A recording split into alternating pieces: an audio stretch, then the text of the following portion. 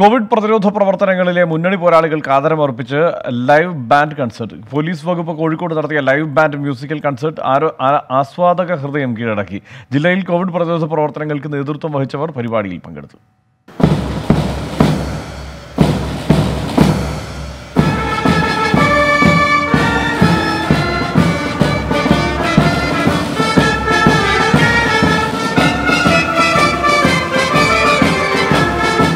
ആറുമാസമായി രാവും പകലുമില്ലാതെ നാടാകെ കോവിഡിനെ പ്രതിരോധിക്കുകയാണ്. ഈ സാഹചര്യത്തിലാണ് കോവിഡ് പ്രതിരോധ പ്രവർത്തനത്തിലെ മുന്നണി പോരാളികൾക്ക് കേന്ദ്ര സർക്കാരിന്റെ ആദരം. കെ എ പിയിലെയും എം എസ് പിയിലെയും നാൽപ്പത്തിരണ്ട് സേനാംഗങ്ങൾ കോഴിക്കോട് ഇൻഡോർ സ്റ്റേഡിയത്തിൽ നടന്ന ബാൻഡ് മേളത്തിൽ അണിനിരന്നു.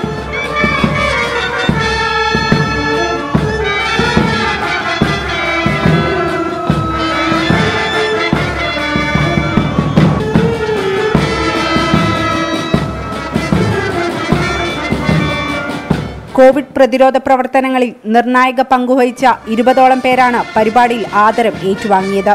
രാജ്യത്തെ ചരിത്ര പ്രാധാന്യമുള്ള വിവിധ നഗരങ്ങളിൽ നടത്തുന്ന പരിപാടി സംസ്ഥാനത്ത് കോഴിക്കോട് മാത്രമാണ് നടത്തിയത്.